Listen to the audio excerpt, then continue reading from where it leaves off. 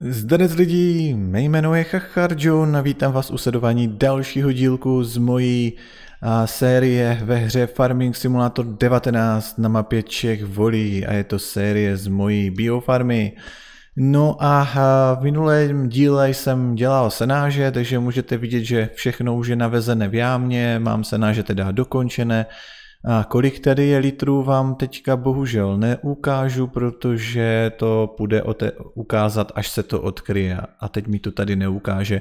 Ale je tady zhruba 1 milion senáže, což není špatné, ale rozhodl jsem se to zakryt, i když ta jáma ještě není ani z půlky plná, protože tady mám ještě druhou a já už chci tu senáž zpracovávat tady na bioplane, produkovat tady nějaký digestát a prostě proč to sakra nezakryt, že jo?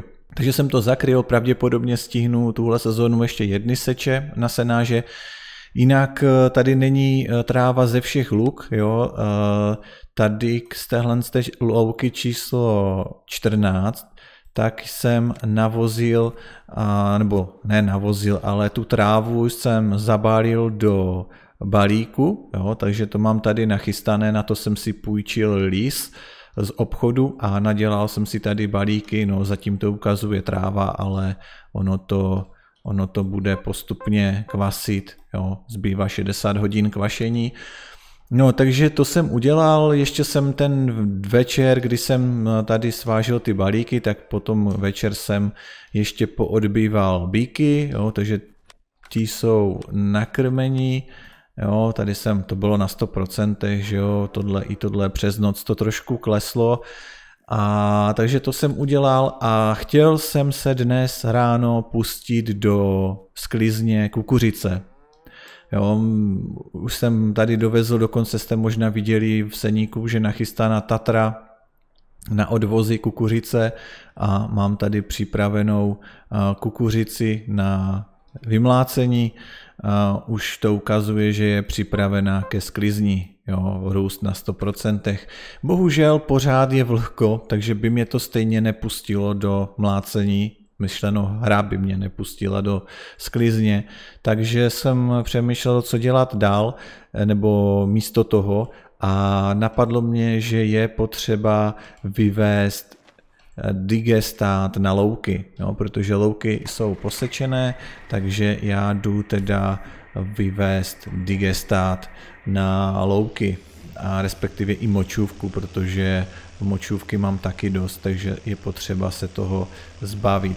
No, koukám, že traktor zůstal tady v seníku, měl jsem ho tu, protože odvážel ty balíky, jo, já jsem si na to půjčil automaticky sběrák, jelikož už se blížila tma a mě se nechtělo svážet ty balíky po tmě, No tak jsem si půjčil prostě ten uh, automatický sběrák, takový ten uh, malý pouze na 8 balíků a na tu hodinku jsem si ho půjčil, protože těch balíků tady se mi zdálo, že je strašně moc a nechtělo se mi to odvážet ručo, nakládat to škorpionem, tak jsem to udělal tímto způsobem.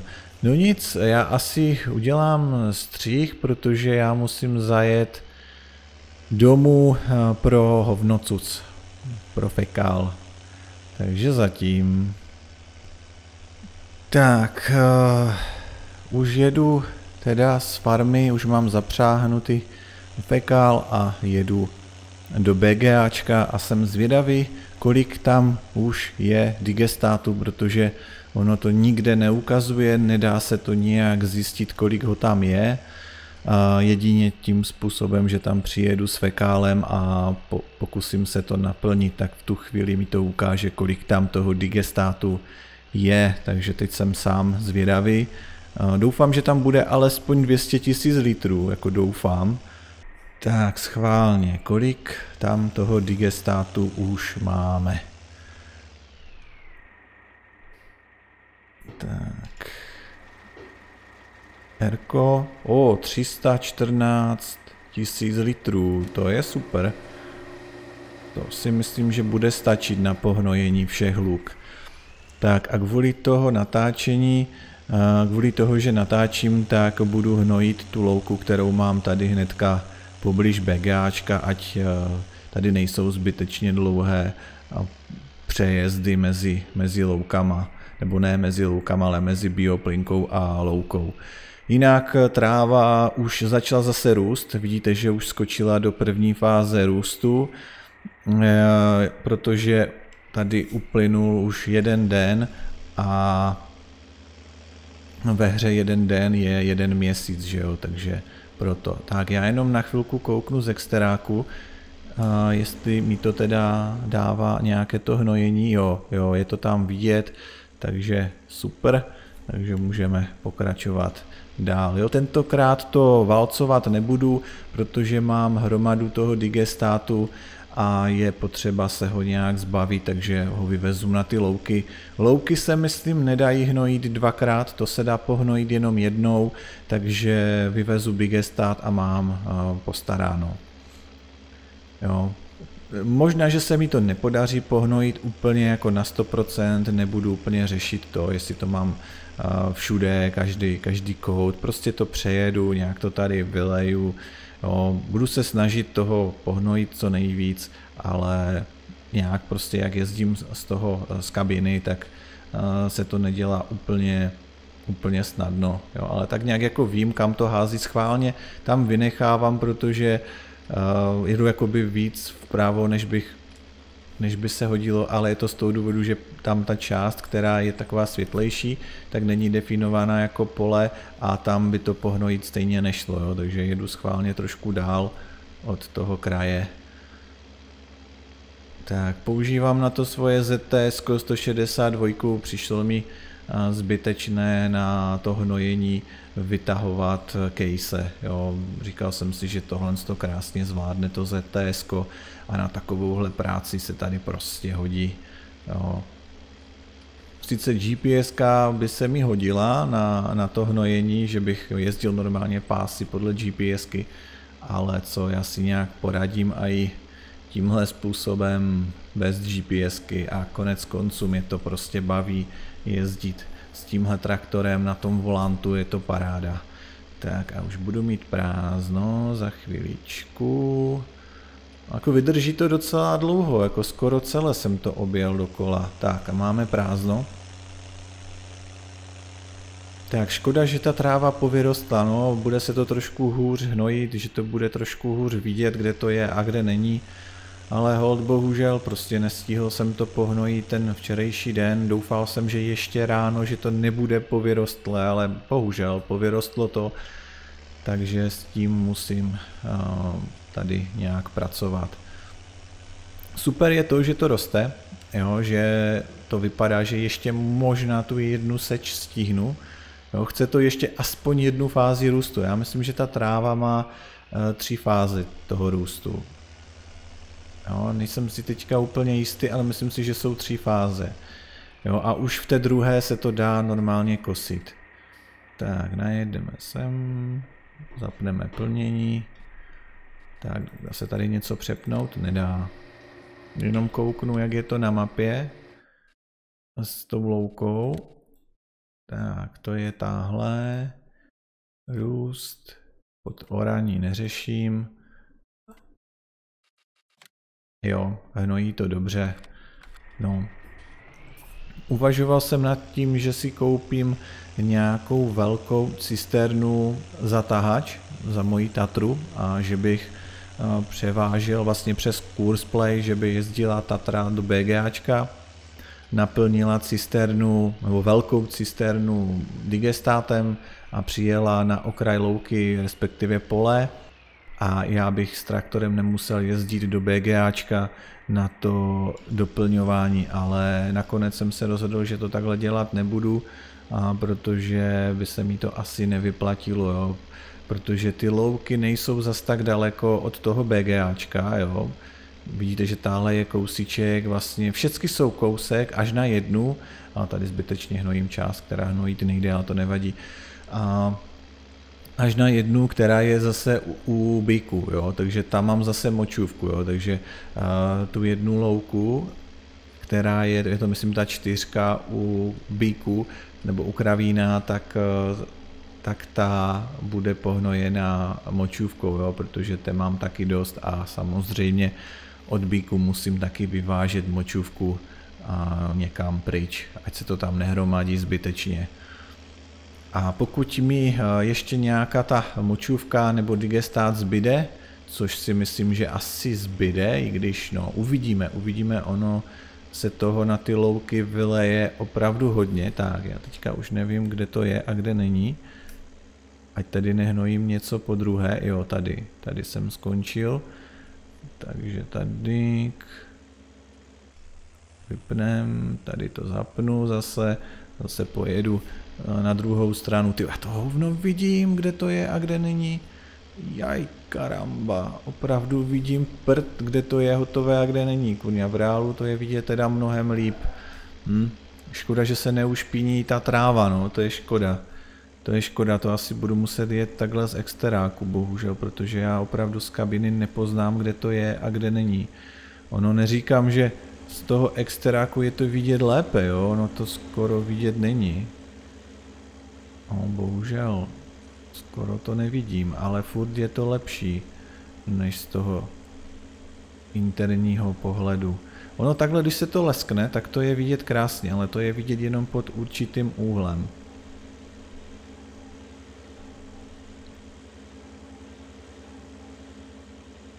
Tak jinak co používám za fekál, tak je to eh, normální nějaký fekál, to je HTS od Forcherita, mám tušení. A se podívám, co to vlastně je, nebo jde to vlastně přepnout, že bych to... Ne, to neukazuje, že jo, ale když se podívám do garáže, tak je to, uh, ne, tak je to, M, jo, je, je, to, Z, je to od ZTS a MV5 starý od Banana Joe Modding. Původně ten fekál vypadal trošku líp, byl červený a s červenými latami. Byl trošku, mysleno ty záplaty, byl takový, prostě vypadal starší, víc orezly, ale nějak vyšla aktualizace na ten fekál, já jsem tu aktualizaci udělal a ono se to celé změnilo, no. Eh, do tady téhleté podoby, ale mě to nevadí, stejně asi tenhle ten fekal moc eh, do budoucna nebudu využívat, protože mám case a asi si pořídím nějaký pořádný fekal s nějakou, s nějakou větší kapacitou, abych tady prostě nejezdil takhle po 8 kubíkách, no docela to zdržuje. A nebo si pořídím velkou cisternu, jak říkám, za Tatru jo, a budu si dovážet a ten digestát k poli nebo k louce. Tak já zase tady prostě nevidím, kde to je, kde není vůbec. Vůbec, vůbec, vůbec, jo. A pořád to nevidím. Jo, tady to mám všude a tady to není. OK, takže jdeme tady zase. No, je to jako fakt dost blbě vidět, no. Kdyby eh, tady ta tráva nepovyrostla, tak to vidím si myslím mnohem lépe. Ale bohužel, no aspoň vidíte ten traktor i trošku zvenku. No, mě to trošku štve, že nemůžu jezdit takhle z kabiny. No ne, to prostě vůbec, já to nevidím ani náhodou. No, to jedině s GPS-kou, ale to zase jako, to bych musel vzít case a to nechci. Takže v tomhletom díle teda uh, jenom chci ukázat teda, co se tady uh, udělalo všechno na téhle farmě, takže mám momentálně uh, všechny louky posečeny, nějaké balíky sena, že jsem nadělal na krmení, jo, protože mě to nebaví krmit ty bíky tím způsobem, kterým to dělám teď. Je to poměrně zdlouhavé. Protože tam musím vždycky nakladačem naložit uh, siláž a traktorem potom tam hodit nějaké balíky, takhle to vyřeším všechno v seníku, že přijedu s krmným vozem do seníku, vezmu nakladač nebo No asi tam bude nakladač si myslím, a myslím škorpiona. Škorpionem tam hodím dva balíky sena, jeden balík senáže a mám hotovou směs na krmení. Jo, ještě to můžu dělat tak, že hodím jeden balík sena, jeden balík slámy a jeden balík senáže a tím mi taky vznikne TMR. Ale myslím si, že lepší bude míchat to seno a siláž, že to bude pro ty bíky lepší a výživnější, i když ve hře to samozřejmě žádný vliv nemá ale já se potřebuju zbavit těch balíků sena, jo, protože ty už tam jsou opravdu dlouho, jo, už nějakou třetí sezónu a furt jich tam je hromada. A 4% to jsem mohl vylet tam někde a nemusel jsem se otáčet. No tak jo, tak jedeme pro další fůru, to už bude koliká, ta čtvrtá. No. Asi jo. Tak, na tu jízdu si to přepneme takhle. Tady, tady máme tyjo, pořádné hrby, takže pojedu radši pomaleji, ať to úplně neskáče.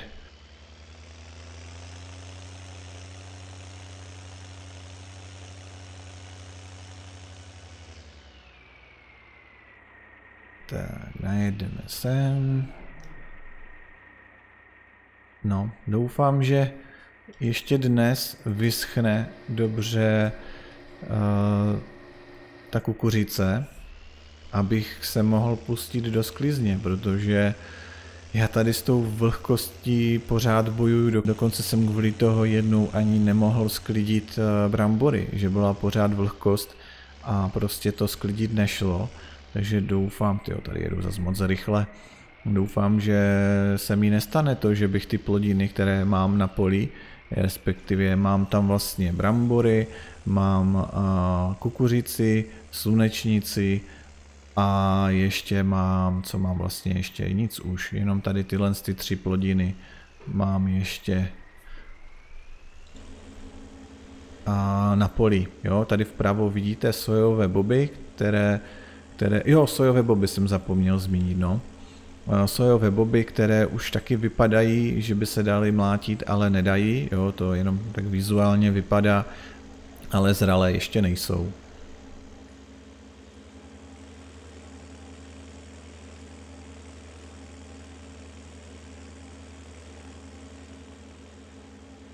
Jo, no, hra to sice takhle vizuálně ukazuje, že už je to připraveno ke sklizní, ale Seasons mod to má trošku jinak a tady je to podle procent a ty procenta tam ještě nejsou na stovce, takže sklízet nemůžu. Maximálně z toho můžu udělat síláž, nebo spíš teda řezánku. Ale to nevím, jestli by se mi vyplatilo, tyjo. To spíš to normálně vymlátím a potom tu soju prodám tak je to opravdu strašně špatně vidím, kde to je a kde není a i takhle z exteráku. No. Příště to musím opravdu hned po, se, hned po sečení. Hned prostě.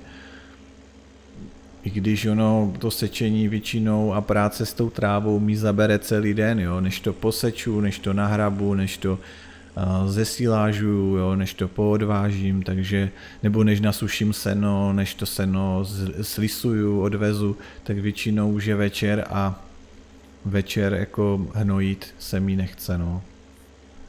To je dost nepraktické. Tak.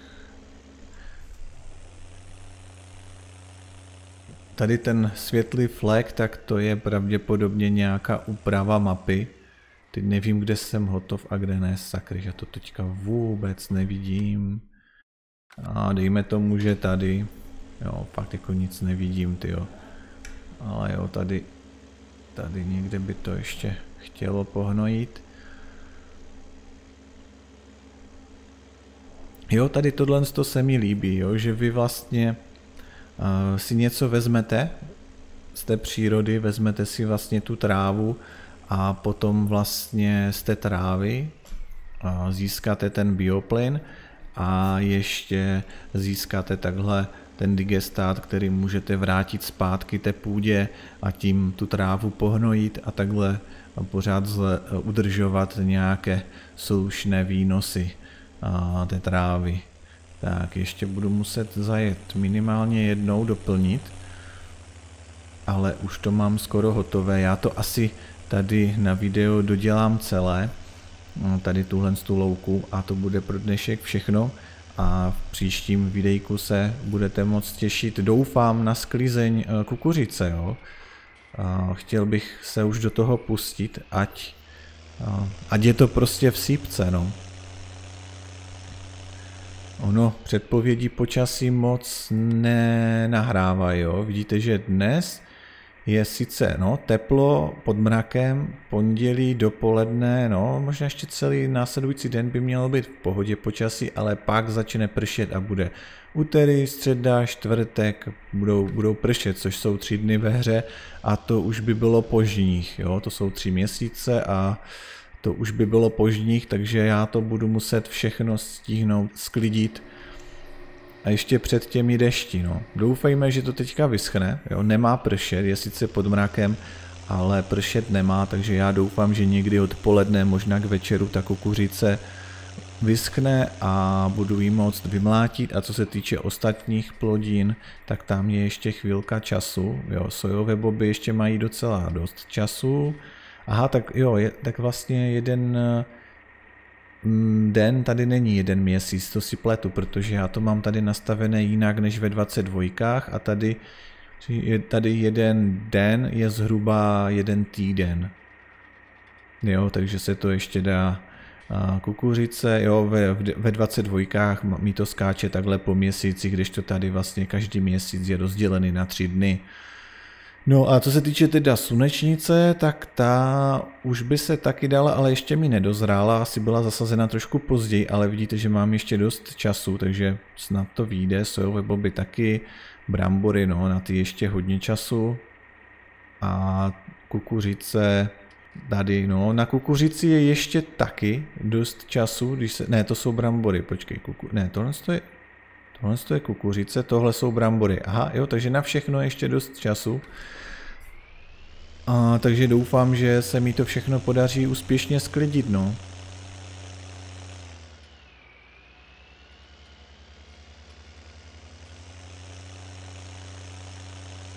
Tak, tady vědeme. Podívám se, tady už to mám asi všechno hotové, ne? No, tady jsou tu ještě nějaké vynechávky. Tady přímo přede mnou by měla být nějaká vynechávka. Jo, tady už to vidím, takže tady co si vylejem. Tak a teď pojedu sem. Tak a tady. No, tak to ještě určitě nevíde na tady tuhle tu a cisternu ještě budu muset určitě zajet.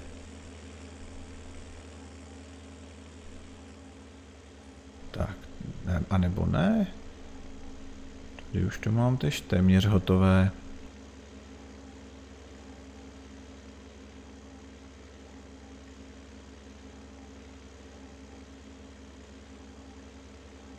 No, tam zpátky. No a ještě jednou asi budu muset zajet.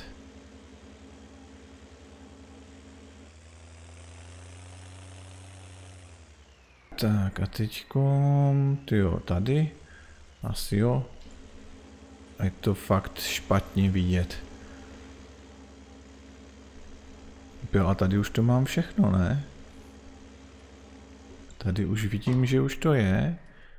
Jo, tady to máme, ještě tady malý kousíček, takže ono to už vyjde na tuhle tu na cisternu, takže v pohodě.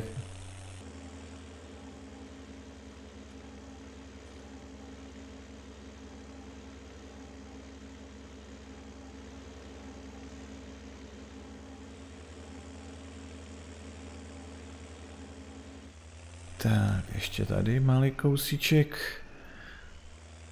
A jedna louka bude hotová, no. A teď ještě další kolik? Tři? Jeden, dva, tři, čtyři, ale jedna je maličká. Takže jo, tady to mám hotovo. Jo, mám to hotovo. Co ukazuje stav hnojení? Tak ono, že by to šlo pohnojit dvakrát, asi jo, ale já už to nebudu hnojit po druhé na to dlabu. Prostě jednou to pohnojím a nazdar. Já už to nebudu po druhé. Na to nemám čas se tím zabývat a nevím, jestli je i dost digestátu na to hnojit to dvakrát. To spíš ten digestát vyvezu na to pole, kde, byl, kde byla pšenice. No, tam je potřeba taky pohnojit, jo, než tam zasadím a tu předplodinu, tu řetkev olejnou.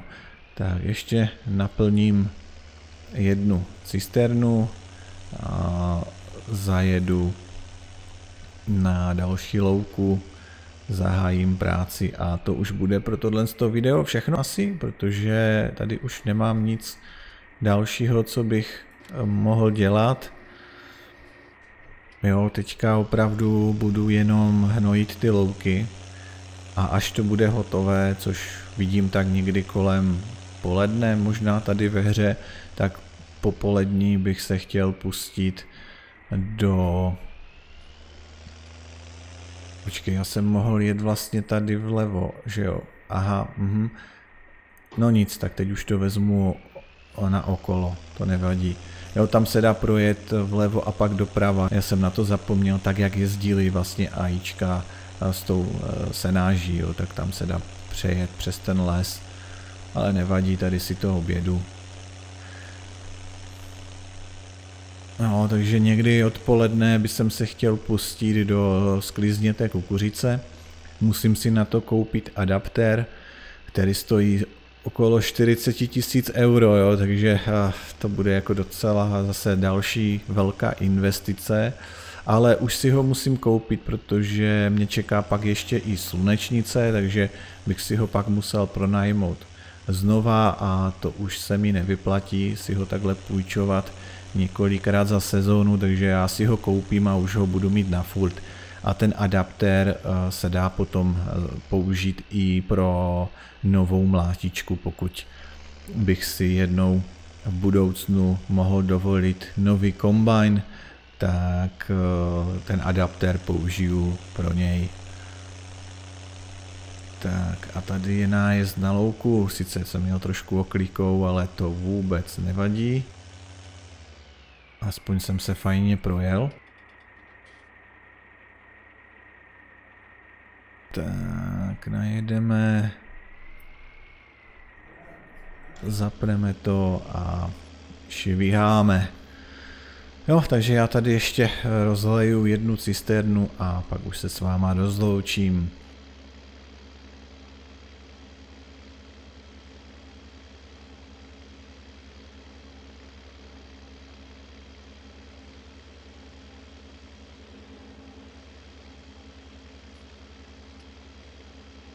No, tady je hodně, hodně prostoru, který hnojit nejde, takže proto jedu tak jakoby dost daleko od okraje, ale zbytečně bych to tam vylíval, jo, kde to hnojit nejde. Tady máme nějaké dřevo na zimu, třeba odvést na farmu, akorát to je jenom dekorace, ale uvažuji nad tím, že někdy v zimních měsících se vrhnu na nějaké to kácení, kácení stromů aspoň takhle na videjko třeba hodinku se tomu věnovat. Jo, někdy, já nevím, až bude leden nebo prosinec a bude nějaký sníh, až to vypadá hezky, tak bych se mohl vrhnout na nějaké to kácení tady, použít tajfuna a, a tahat ty stromy třeba někam na louku tajfunem, tam to motorovkou nařezat na klády a potom to třeba nakládat eh, Proximou nebo Škorpionem na nějakou vlečku a odvést to do výkupu. Jo, žádné uskladňování a tak dále, prostě to hned, hnedka odvést na prodej.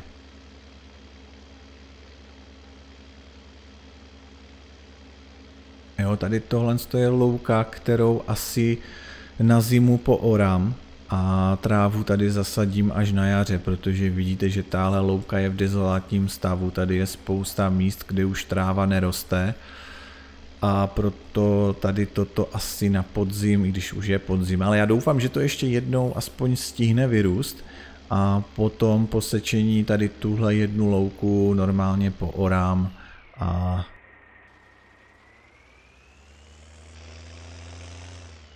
a potom někdy na jaře, já nevím, kdy se tady seje tráva, tráva se seje, ta se může zasívat vlastně skoro pořád, kromě eh, zimy pořád. No. Takže na zimu to zorám a někdy na jaře tady nasadím trávu a tím tu louku trošku ještě dostanu do lepšího stavu a získám lepší výnosy. Jo, tady tuhle tu cestu jsem myslel, že je kratší tady k té louce. Samozřejmě, já jsem na ní trošku zapomněl, že se tady dá jezdit.